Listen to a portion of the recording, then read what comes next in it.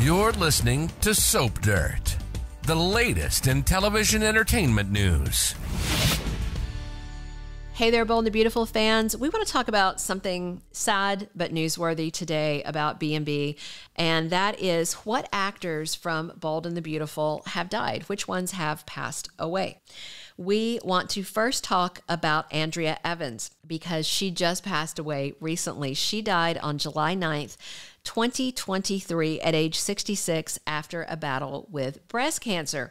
If you don't remember Andrea Evans from Bold and the Beautiful, she played Tawny Moore from 1999 to 2000 and again in 2010 to 2011.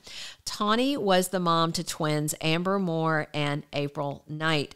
Tawny was not a nice lady. She was kind of a bad girl, a bad mom who encouraged Amber's bad behavior. So she was super good on the soap and she just died way younger than anybody would expect. Before we dig into this second death, if you haven't already, we would appreciate a subscribe so we know how many people are listening and we can bring you the best content. The next sad death we want to talk about from Bold and Beautiful is Darlene Conley. She played the original old school Sally Spectra way back in the day. Her role of Sally was created for her by co creators William Bell and his wife Lee Phillip Bell. And she was phenomenal. A lot of people love Sally Spectra, and they really like that they kind of brought her memory back by bringing in a new namesake, Sally, several years back with Courtney Hope in the role. So, Darlene Conley passed away on January 14th, 2007. She was 72 when she passed, and she too had come out of a battle with cancer. So while the actress passed away, Bold and the Beautiful has left OG Sally Spectra alive. They refer to her every now and then as off traveling with a hunky younger man on B&B. As of now, we see that they are probably not going to have her pass away, but you never know since her namesake is over on Y&R. Maybe they would write a character death at some point, or they may just not mention her again. So, also linked to the original Sally Spectra was her tailor, Saul Feinberg. He was her number one guy at Spectra Fashions. And if you remember, he loved Sally. He had such a big crush on her.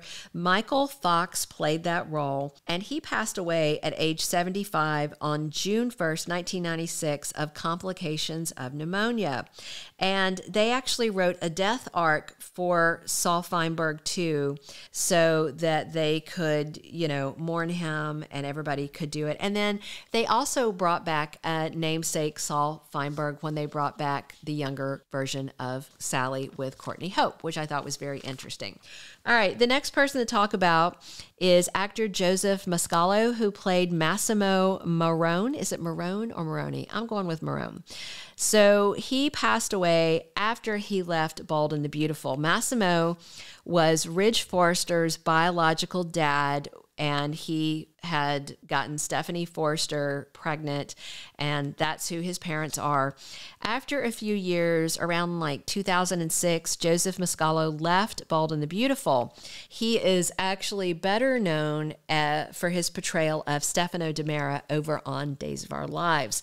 So Joseph Mascolo passed away on December 8th, 2016, at the age of 87 of complications with Alzheimer's. Next, we're going to talk about Gladys Pope. Gladys Pope was this iconic and really fun character on Bold and the Beautiful, and she was played by the legendary comic actress Phyllis Diller. Phyllis Diller played Gladys off and on on Bold and the Beautiful from 1996 all the way to 2012. She was a cosmetician, beautician person that was often in scenes with the original Sally Spectra. Her last appearance on Bold and Beautiful was shortly before her death. She passed away on August 20th, 2012. She died peacefully in her sleep at the ripe old age of 95. And then there was another iconic comedy legend that guested on Bold, and that was Betty White. She played Stephanie Forrester and Pam Douglas's mom, Ann Douglas. She appeared on 23 episodes airing over a period of three years from 2006 to 2009. She was credited as a special guest star. And then the character she played, Ann Douglas, passed away from pancreatic cancer are on screen. And then actress Betty White herself passed away on December 31st, 2021, 17 days before she was going to turn 100 years old. She died at age 99 of complications of a stroke.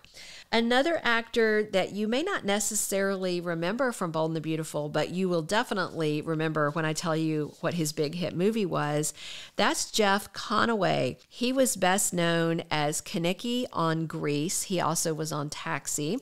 And on Bold and Beautiful, he played this guy, Mick Savage, from 1989 to 1990. Mick dated both Macy Alexander and Kristen Forrester. And the actor, Jeff Conaway, passed away very young and tragically at age 60 on May 27, 2011, from complications of an accidental drug overdose. Jeff Conaway had struggled with addiction and with relapses in his recovery for years before then. All right. So, another actor that you probably know better from something else, but who did a little turn on Bold and the Beautiful is Robert Clary. You may know him best as the little Frenchman Le Beau from the 70s hit TV show Hogan's Heroes. But Robert Clary also did a little more than 40 episodes on Bold and Beautiful as Pierre Jordan. He made friends with Brooke Logan back in 1990 and then he later relocated to LA and opened a restaurant with help from Eric Forrester. And that was his little arc. And a lot of people would eat out at his, his French restaurant. Actor Robert Clary passed away on November 16th, 2022, at the age of 96 of natural causes. Of note, he was the last cast member from Hogan's Heroes to remain alive until 2022. All right, here's somebody whose name I'm going to try really hard not to mangle, but I'm very worried about. Anthony Addabbo, Addabbo, Addabbo.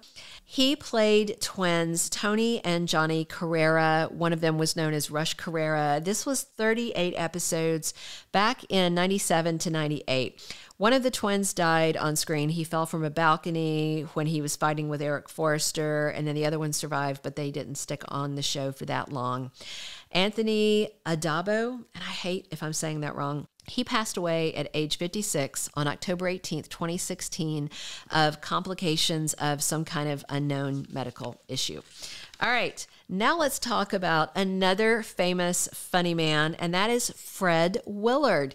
He is extremely famous, and he also happened to show up on Bold and the Beautiful from 2014 to 2015 as a recurring actor. He played John Forrester, who is Eric Forrester's older brother. And John Forrester, if you didn't remember, is the dad of Ivy Forrester, who I think a lot of us definitely miss on Bold and the Beautiful. Fred Willard is an acting legend. You'll recognize him when you see his picture flash up here.